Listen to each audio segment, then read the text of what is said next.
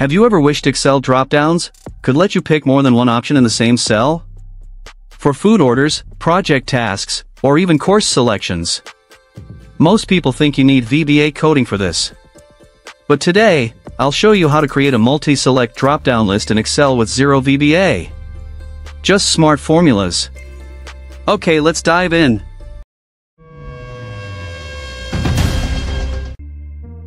In our sheet, column A has the customer name.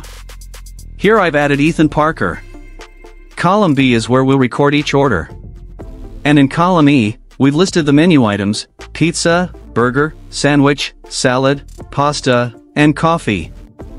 Now, let's add the drop-down menu for the order column. Select cells B2 to B7.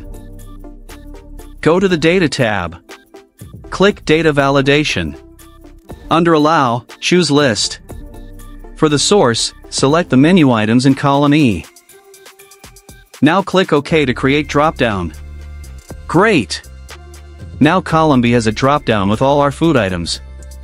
But right now, we can only pick one at a time. Let's fix that. Here's the magic part, making it multi-select without VBA. In column C, we'll use the text join function. In cell C2, type equals text join. Open parenthesis. Text join combines multiple values into one cell. The first argument is the delimiter that simply tells Excel what to place between each item. In my case, I'll type a comma inside quotation marks, followed by a space. That way, instead of all the items sticking together, you'll see a neat list separated by commas. But here's the cool part, you can change this to anything like a dash, a slash, or even the word in depending on how you want it to look.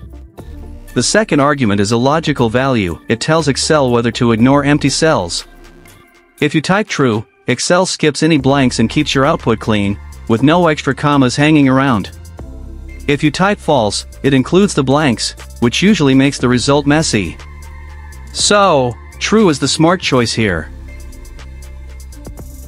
Finally, the last argument defines the range of cells you want Excel to combine.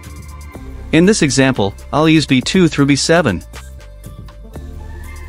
Once that's set, close the formula. Hit enter and just like that. Now, if Ethan chooses pizza, burger, sandwich, salad, pasta, and coffee, cell C2 instantly shows all selections. Want a cleaner look? Put each choice on its own line right inside the same cell. Just update the formula.